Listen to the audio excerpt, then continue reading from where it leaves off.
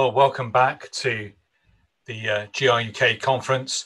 My name is Darren Moore. I'm the minister of Chelmsford Presbyterian Church and one of the, the organisers, as uh, Michael just mentioned. And uh, so, if you've got yourself to answer um, Michael's question, I've got a builder's tea.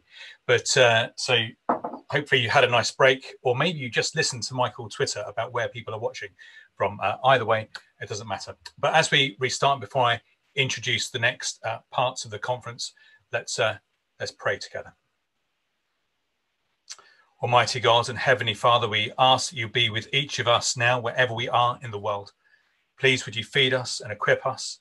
Would you sustain our technology, both um, those of us sending content and those receiving, uh, that we might um, receive from you, that you would uh, use us, that in all of us uh, participating now may glorify you in the suffering that we minister to and the suffering that we experience. We ask in Jesus' name. Amen. Well, in a moment, we're going to show you uh, a short video um, by uh, Mark Johnston, who's going to explain the UK scene. It's going to say something about himself as well. It surprises a lot of people in the UK, and it probably more so those outside of the UK, particularly in the States, uh, to know what the church scene here is like. Uh, depending on which poll you you refer to, around about 11% on a good Sunday will come to church once. That's of every kind of church, including some that you might not even consider a, a real church. When you talk about conservative evangelicals, so for those outside of the UK, particularly Americans, uh, a gospel coalition kind of church, you're looking at a, a, a fraction of that would be in one of those kind of churches. So probably 1%, 2% if we're being generous and optimistic. Of the kind of reformed confessional kind of churches, the, the sort of people that are involved in uh, this afternoon, well, for me, after this afternoon's um, conference, confessional Presbyterian type people, not to diminish the others, we're talking about a tiny percentage of that percentage. Uh, I mean, obviously, regional varies around, variations around around the nation. So that's what we're kind of dealing with, and that's part of why we uh, promote the things that we do. And Mark is going to explain to you a bit more about the situation uh, that we're in.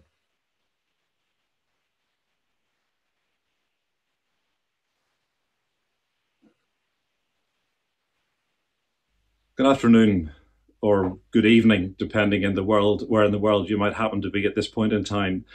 Uh, my name is Mark Johnston. Um, and the conference organisers have very kindly asked me to say just a few words about myself, uh, the work I'm involved in, and some of the challenges facing the churches here in the UK at this present time.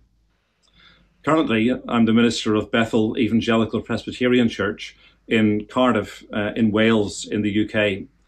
Uh, we're a, a medium sized congregation, uh, but we're made up of a very diverse mix of people from different walks of life um, and different parts of the world. And it's a pleasure to be their pastor.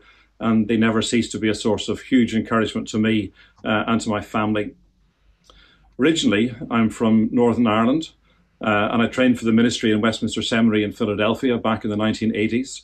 Uh, and when I got back to Ireland in 1984, I was asked to plant a church near the cathedral city of Armagh in Northern Ireland, about 35 miles west of Belfast this was a huge challenge, um, and, and, we ended up starting with just one other family as we got the church underway. But uh, in His goodness, God blessed that work over the space of the, the 10 years we were there, and it grew uh, and it flourished before we eventually moved on.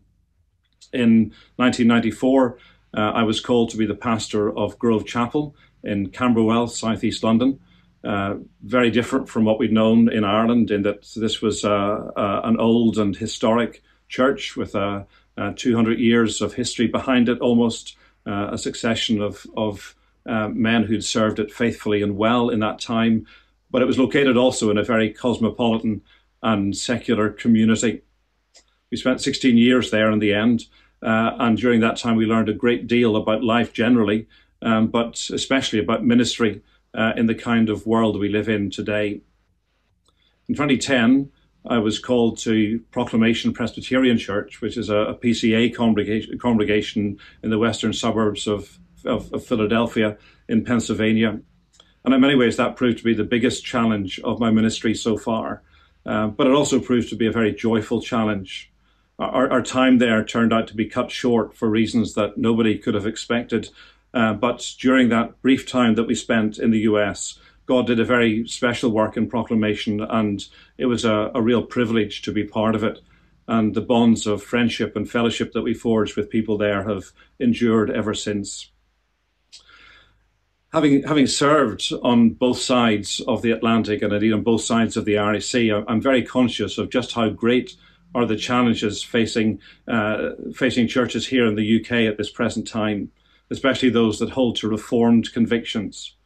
Even though Britain was the cradle of the Reformation in the English-speaking world for for many years, the Re- Reformed faith went into sharp decline um, and and almost became extinct all this began to change in the late 1940s, early 1950s with the influence of men like Jim Packer and Martyn Lloyd-Jones and their ministry and their teaching.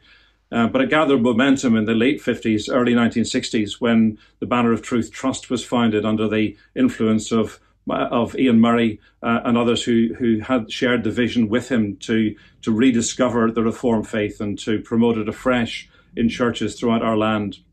It's been my privilege to serve as one of the trustees of Banner of Truth for almost 25 years. And, and it's just thrilling to see the growing appetite uh, for Reformed books and literature that we publish, uh, but also to attend the, the reformed uh, conferences that we organise, uh, not just here in the UK, but in the US and in Australia also.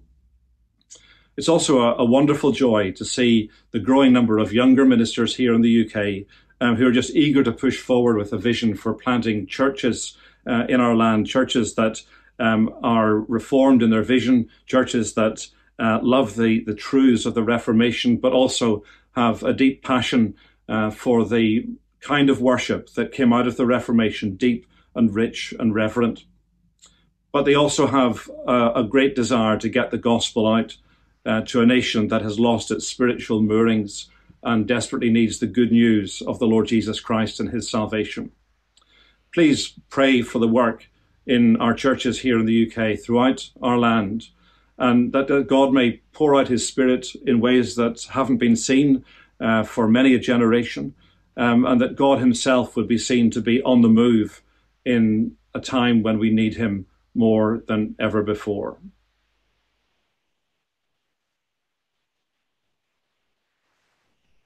Well, as uh, we said earlier, uh, welcome. We are uh, GRUK or Gospel Reformation UK. We want to welcome you to, uh, if I've noticed on, on Facebook, various people still joining us as the, uh, as the day goes on. So uh, welcome to Zoomutopia.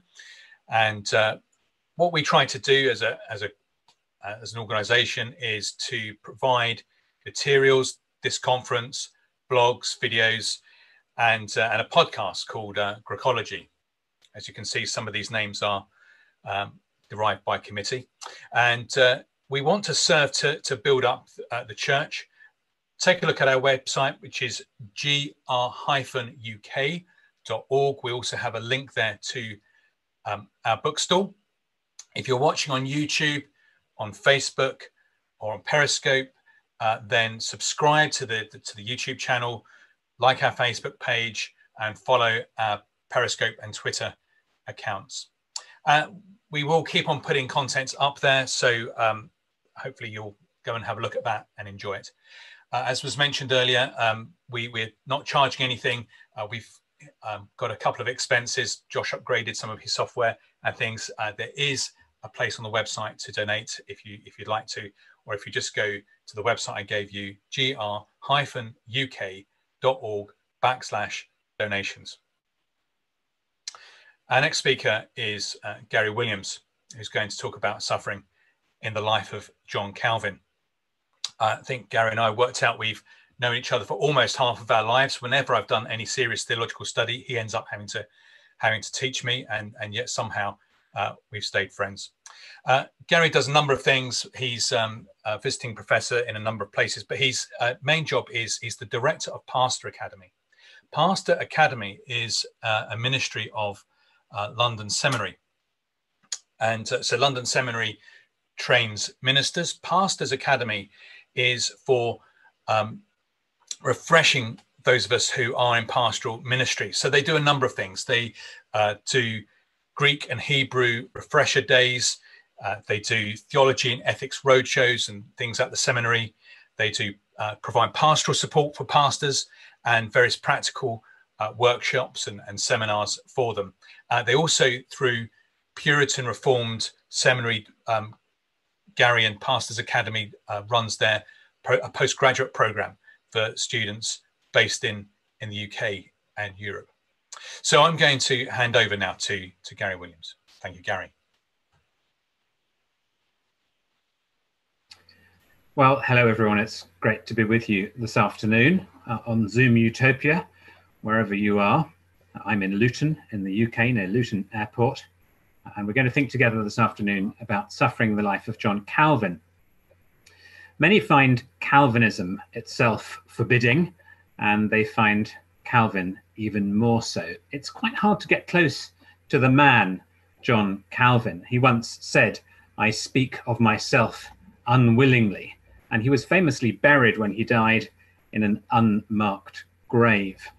He's a lot less approachable than Martin Luther. If you look at pictures of them, you can see that.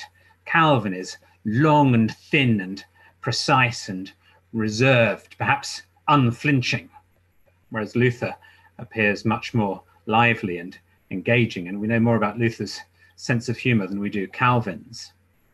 Calvin was also incredibly successful. His success itself might be intimidating. You think about his writings, uh, the institutes, obviously, uh, the various treatises, the incredible commentaries, which many pastors still consult today. And he becomes intimidating simply because of how successful he was on paper. But then you think about his ministry as well.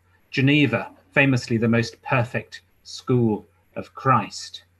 France, Scotland, Poland, Germany, even England, massively impacted by Calvin's Reformation and his teaching. He was, you might think, a colossus of the Reformation, striding effortlessly over the European scene of the 16th century. That's Calvin. And then there's you, and there's me, achieving so little, stuck in our studies at home, struggling so much. Maybe we think the 16th century was a golden age. Secretly, we'd love to go back there to join Calvin in the company of pastors in Geneva. Well, I wonder what you think about that idea. WWCS, what would Calvin say to such an idea? I can tell you exactly what he'd say. He'd say, whatever you do, don't do it. Choose a hundred other afflictions, but flee from Geneva because Calvin had an awful time in Geneva, and there is much to learn from him for our own perseverance today. Let me pray that we would do that this afternoon. Our Heavenly Father, we thank you so much for your servants of the past. Thank you for their example. We remember how the Apostle Paul said that we should imitate him as he imitated Christ. And we thank you that there's a great cloud of witnesses that we can imitate from across the centuries where they imitated Christ. And so we pray that you would help us now to learn from the struggles and suffering of John Calvin for our own lives and ministry. And we ask it for Jesus' sake. Amen. Calvin, in many senses, was like Job remember Satan claims that God has hedged Job in? He says, Does Job fear God for nothing? Haven't you placed a hedge around him, his household, and everything he owns? And in the book of Job, as you know, that protective hedge is then torn down piece by piece. Animals, servants, children, his own body in the end. And Job strikingly takes that same language that Satan has used. He obviously wasn't aware of that uh, the language of being hedged in and applies it to himself. He asks in chapter 3, verse 23 Why is life given to a man whose path is hidden, whom God has hedged in? So the hedging in for Job has become a bitter experience of being hemmed in by trouble, not by protection, but by trouble on every side. That's a, a point of comparison with Calvin because Calvin faced extraordinary hostility on every side in his public and in his personal life. Here's how he put it. He wrote this I say nothing of fire and sword and exiles and all the furious attacks of our enemies. I say nothing of slanders and other such vexations. How many things there are within that are far worse. Ambitious men openly attack us, impudent men insult us, hypocrites rage against us. Those who are wise after the flesh do us harm indirectly, and we're harassed in many different ways on every side. It is, in short, a great miracle that, weighed down by the burden of such a heavy and dangerous office, any one of us should persevere. So, what were the hedges that surrounded Calvin on every side? Well, to start with, Calvin lived with a pervasive sense of the imminence of death.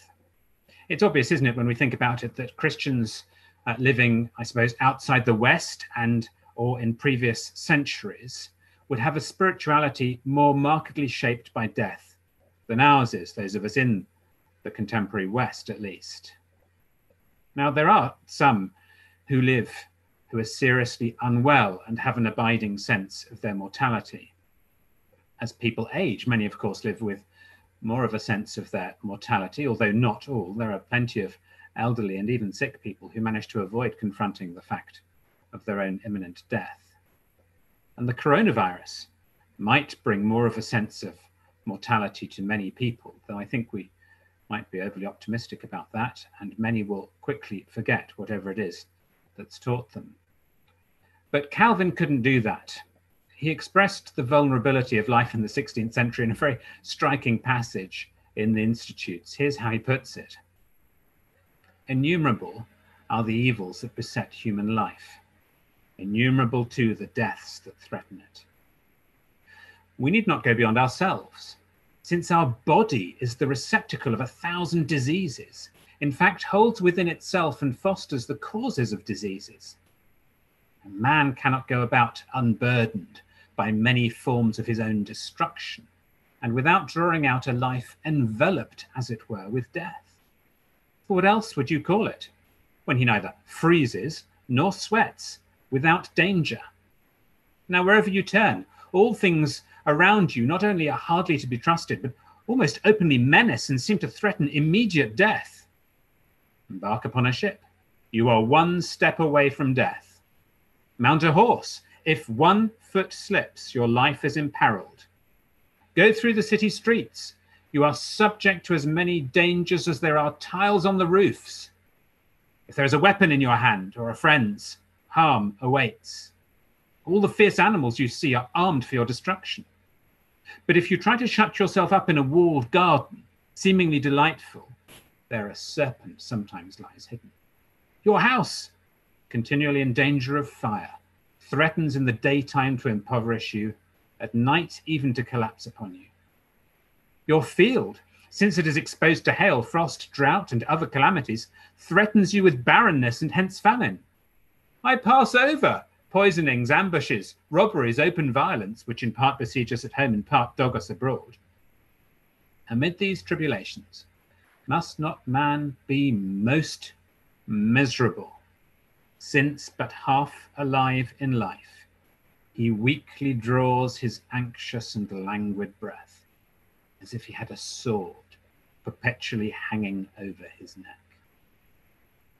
And indeed, we might note that the military threat was real to Geneva in the 16th century, and that within the city there was politically, theologically motivated murder. So Calvin lived with the constant sense of death, surpassing what most of us have today. There's another contemporary link, like the coronavirus, and that's to the theme of refugees. We think of uh, those fleeing the chaos in the Middle East well, Calvin himself was a refugee. He was, of course, French. He said wistfully, His native soil is sweet to everyone, and it is sweet to dwell among one's own people. But that, from 1534 in his mid 20s on, he himself could never do. He wrote of how hard it is to have to find safety by inflicting a voluntary exile on oneself. You see, he never wanted to be in Geneva. He tried to pass quietly by the city, and you may remember the famous story of Guillaume Farel, who prayed a curse on the quietness that Calvin was seeking if he wouldn't stay in Geneva and help the cause of the Reformation. He then faced another exile, this time from Geneva, and went to Strasbourg because he was thrown out by the Genevan authorities for a few years. When they invited him back and he returned to Geneva, he said, Rather would I submit to a hundred other deaths than to that cross on which one must perish daily a thousand times. Not exactly enthusiasm for the role. Within just six weeks of being back in the city, he could say, I am entangled in so many troublesome affairs that I'm almost beside myself. And what were those affairs that constantly entangled him in his time in Geneva? Well, perhaps most basically, they were just the demands of the job. He preached twice each Sunday. Every other week, he preached each weekday morning at 6 or 7 a.m. That means he often preached eight sermons in a week. He preached around 4,000 sermons in all after his return, averaging more than 170 sermons a year. There were, of course, other services as well. In the 1550s, there are 270 weddings, 50 baptisms. And don't forget, he wasn't only a pastor, he was also teaching in the academy. He lectured three times a week on theology, and he spoke in the consistory, in the church courts. He ran a Bible class every Friday. If ever anyone was hemmed in by sheer activity, it was John Calvin. Maybe he had a great team to help him? Well, certainly not at the start. Of his colleagues, he said one was of a touchy or rather savage character, the other was wily and sly. He commented, they had no thought, even in dreams, about what it means to direct a church. For the first 14 years after his return to Geneva, he was beset by the opposition, the schemes of his enemies. They fell into two main groups. On the one hand, there were the refugees who, like him, had come in to the city. And on the other, there were the old Genevans, or the libertines, as they were known. Cal- uh, Geneva was in Calvin's day largely a city of refugees, and it was like a beacon for anyone seeking to escape Roman Catholic oppression. But that meant all sorts of uh, individuals came with strange and radical ideas, f- figures like Michael Servetus. There were constant doctrinal battles in the city because of this. So Calvin found himself found himself not only opposing Rome, for example, Cardinal Sadoleto, who tried to encourage the Genevans to return to the Roman fold, but also the radicals like Servetus, who denied the doctrine of the incarnation, the doctrine of the Trinity, those who denied God's sovereign grace, such as Bolsec, and of course, sadly, even the Lutherans, with whom there was a massive controversy over the Lord's Supper. The list just goes on and on of people with whom Calvin had to engage. So that his colleague, his successor, Beza, commented, There will be found no heresy ancient or revived, or newly founded in our time, which he did not destroy down to its foundations. So that was the people coming into the city causing Calvin trouble. And then there were the old Genevans, the powerful rulers of the city. And this was ongoing trouble, most of them because of their ungodly lifestyle. But it got really bad when in 1552, Ami Perrin became the first syndic, the leading authority in the city. Sometimes people think, by the way, that Calvin had a lot of political power in the city. He had no direct political power. He didn't hold political office. And for most of his time there, he wasn't even a citizen of Geneva. So Ami Perrin, by contrast, had immense political power, and Calvin experienced relentless opposition. He wrote to a friend, to Bullinger, if I simply said it was daytime at high noon, they would begin to doubt it. They opposed him, in other words, at every turn whenever they could. I wonder if you've ever considered quitting from your ministry role if you're a pastor watching today my suspicion is that there are probably, if you've for among any who've been in the ministry for any length of time, there are probably few who don't ever consider quitting. I think of one minister known to some who are watching today who was in post for more than 40 years. And he commented once at a conference that he considered resigning every month for 20 years. At that point in the conference, the hearers laughed, but he said, I mean it. I'm not fooling around. Well, Calvin also got to that point. In October 1553, in the midst of this opposition, he asked to be allowed to resign from his post. But he wasn't allowed to. In a sermon in December 1554, he said, If it were up to me, I would want God to remove me from this world, and that I should not have to live here three days in such disorder as there is here. Now, things did get better for Calvin. They got better in 1555 when his supporters really won at the elections in the city because of a change in the voting rules, allowing more of the incomers into the city to vote. From then on, things were much better for Calvin. But that was just the last nine years of his time in the city. Most of his public ministry that was very, very difficult, and he faced constant opposition. So you may say, well, that's what's going on in public for Calvin, but, but what about in his home? Maybe in his home, maybe there was an oasis there. Maybe he could come home and experience peace and tranquility, a refuge from his troubles. Not at all. Here, too, Calvin was hedged in. In fact, as the political troubles eased in 1555, the domestic troubles were to intensify. Calvin was deeply affected by his brother's wife's deception and adultery. His brother and his brother's wife lived in Calvin's house with him, and she was accused of adultery with a servant in the house, as well as others, and of theft from the house. Calvin wrote in February 1557 to Farel, You have no idea, my dear Farel, with how many ambushes and clandestine machinations Satan daily assaults us. Though the state of the public affairs be tranquil, it is not allowed for all that to everybody to enjoy repose. Our private calamity almost completely absorbs us. The judges find no way of disengaging my brother.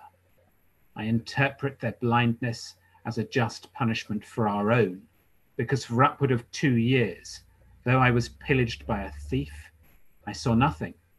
My brother perceived neither the thief nor the adulterer. Now, what about his own marriage?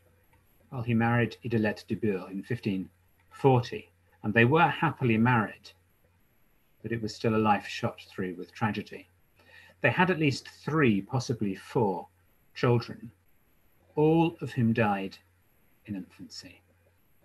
On the 28th of July 1542, Idelette gave birth prematurely to little Jacques, and he died soon afterwards. Calvin expressed his grief. The Lord inflicted on us a grave and painful wound in the death of our beloved Son.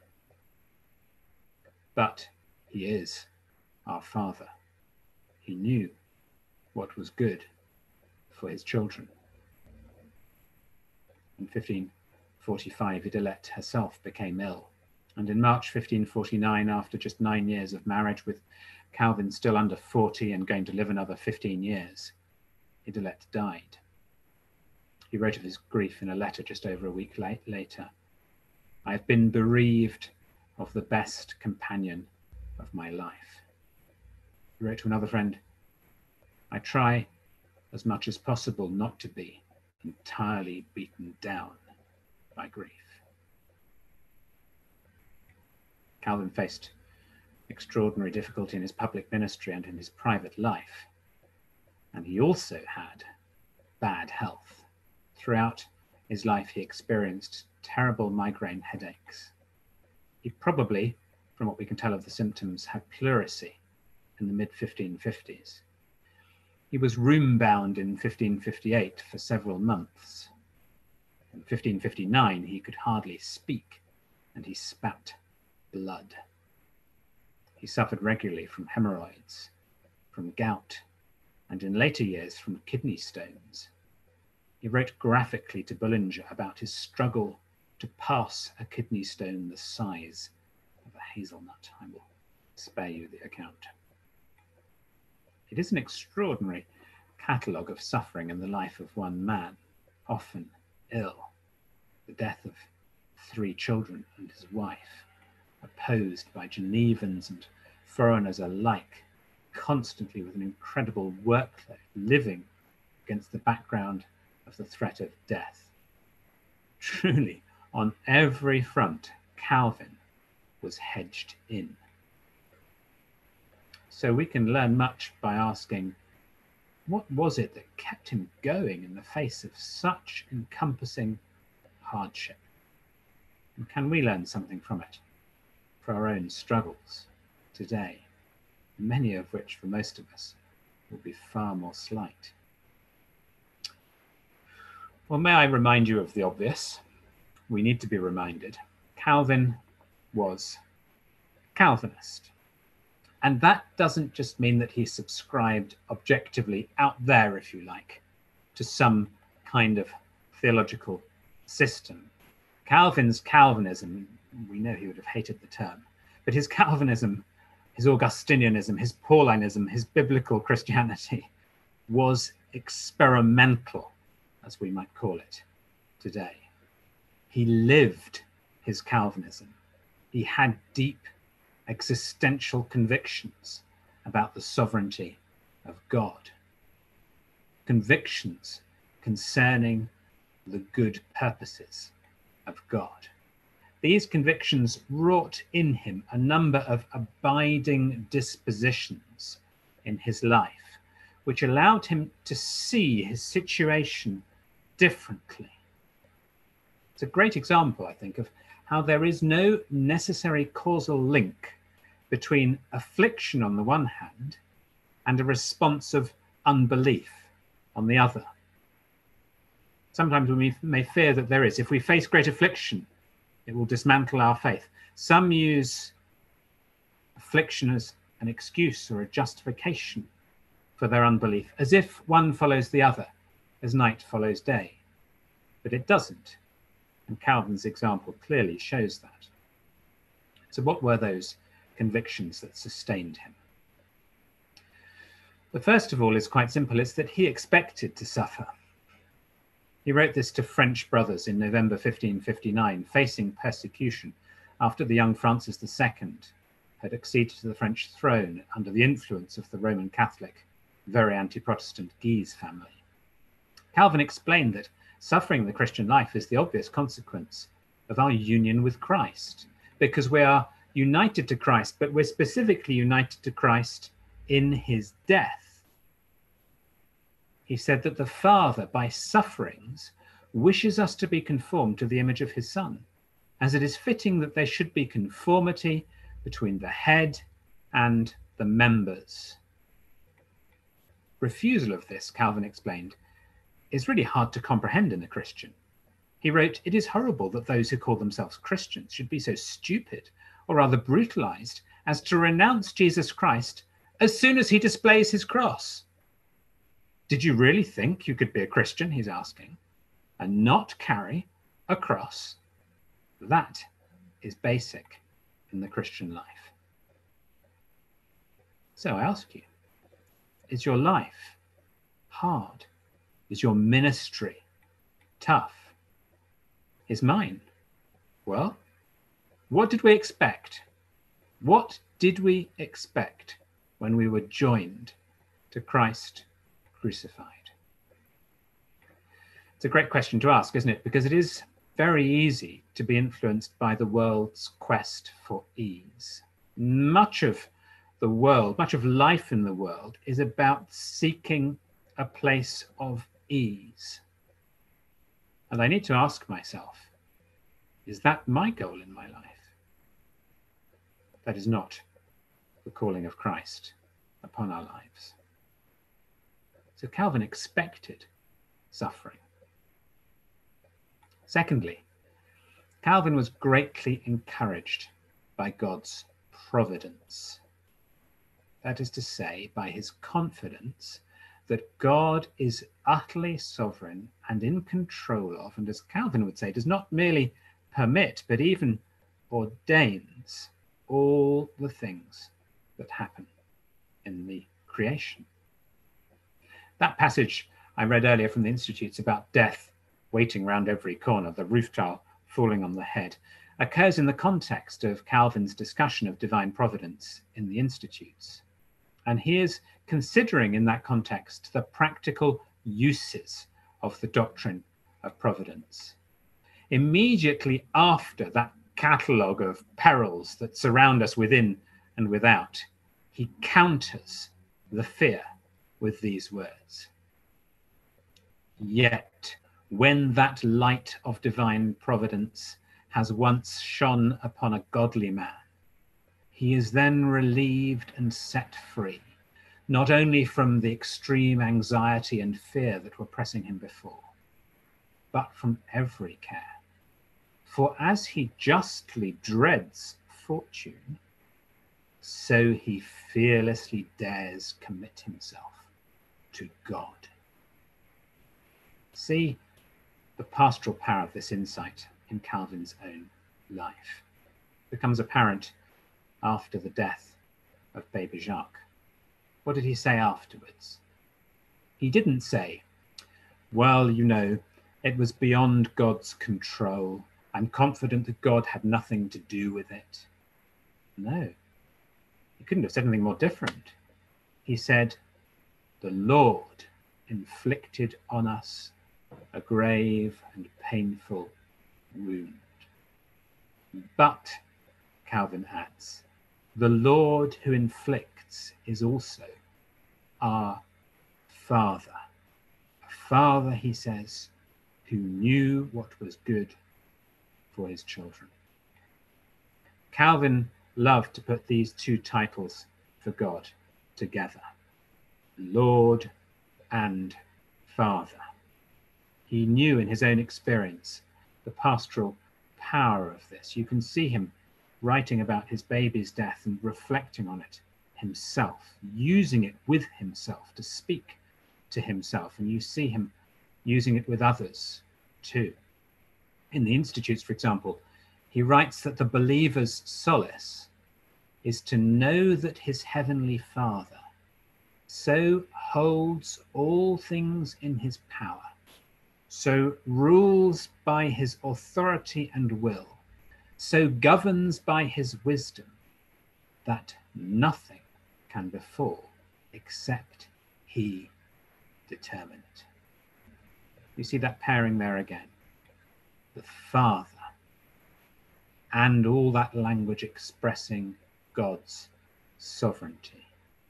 It is our Heavenly Father who has total power over everything and can therefore order all things to our good.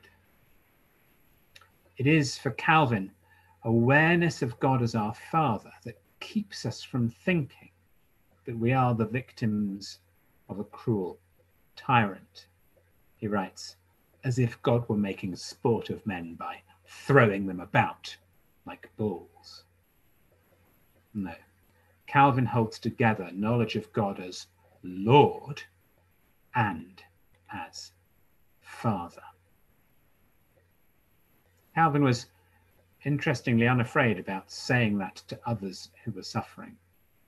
This is what he wrote to the French brothers facing persecution. According then to what is said in the psalm, we should prepare our backs for stripes. If that condition is hard and painful, let us be satisfied that our Heavenly Father, in exposing us to death, turns it to our eternal welfare.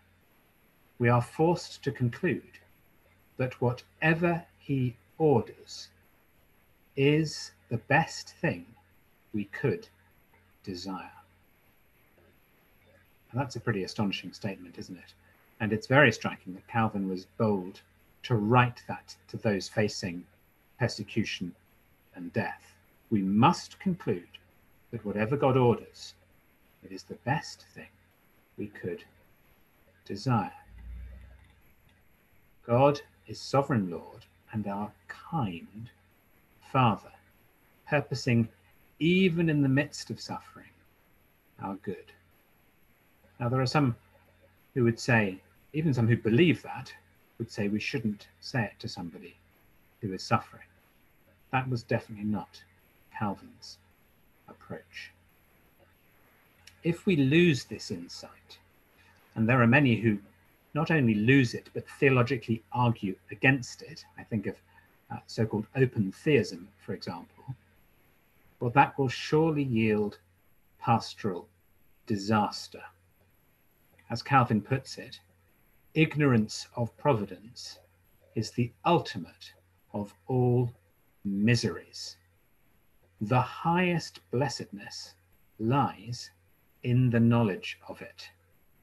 We don't help anyone by going silent on the fact that God is sovereign over what is happening to them and that he purposes their good even in the midst of it. So Calvin was greatly strengthened by his knowledge of God's providence. Thirdly, Calvin knew that Christians can never actually lose. They are never truly defeated and they are never truly poor. We are always rich, Calvin said, because we have Christ. He wrote this to one who was suffering imperial hostility. If the whole world should be taken away from you, there would yet remain the consolation to which we must chiefly betake ourselves, namely, to yield ourselves up entirely. It is certain that having the Son of God, we suffer no injury in being deprived of all else. For thus highly ought we to prize him. Having the Son of God, we suffer no injury in being deprived of all else. For thus highly ought we to prize him. And if we grasp, in other words, the richness of what we have in the Lord Jesus Christ, we will never think we are poor, no matter what we lose. Now, perhaps at this point, you're beginning to think that he's sounding like he was indeed a colossus who strode over suffering without feeling it, um, as if it had no kind of emotional impact on him. But that's not, that's not at all what he's saying. Actually, Calvin believed in fear, and he believed in the importance of fear. And nothing that he said here should be mistaken as a denial of the reality of fear in the Christian life. Actually, Calvin was clear that fear is where hope is born, that you only get real hope emerging in the context of real fear. This is how he puts it. Experience shows that hope truly reigns where fear occupies part of the heart. For hope does not operate in a tranquil mind. Nay, it is almost dormant but it exerts its power where it uplifts a spirit worn down by cares, soothes it when troubled by grief, and supports it when stricken by terror. And we might add that that, of course, is what we see supremely in the Garden of Gethsemane, where the Lord Jesus Christ himself experienced fear did not have a tranquil mind in the face of the agony that was about to come upon him, but reacted with fear, but with godly fear, from which was born a hope that enabled him to persevere and to drink the cup for us. Calvin is not saying that we should be afraid. So, brothers and sisters, we see in John Calvin a man really terribly afflicted on every side in all sorts of ways. And yet he says to us across the centuries remember that you will suffer. Expect nothing less because you have been gloriously united to the Lord Jesus Christ and to him crucified. And as you suffer, recall that whatever the Lord orders, is somehow the best thing for us, coming to us from our kind Heavenly Father. No matter how it feels, your world is not ever careering out of His control. And pray that as fear rightly occupies part of your heart, hope will, in that context, reign. Should we pray together? Let's pray together. Our Heavenly Father, we do pray in particular for any watching today who find themselves in particularly difficult circumstances, be that their own health, the condition of loved ones around them, their public ministry. Please, in the midst of their fear, would you produce great hope? Please, would you strengthen in them by your Spirit a confidence that you are their good Heavenly Father, somehow purposing good, even in the midst of this current season of affliction. And we pray that such convictions, Heavenly Father, would abide in all of us through the course of our lives, in the midst of the different sufferings that we face. And we ask it in Jesus' name and for his glory. Amen.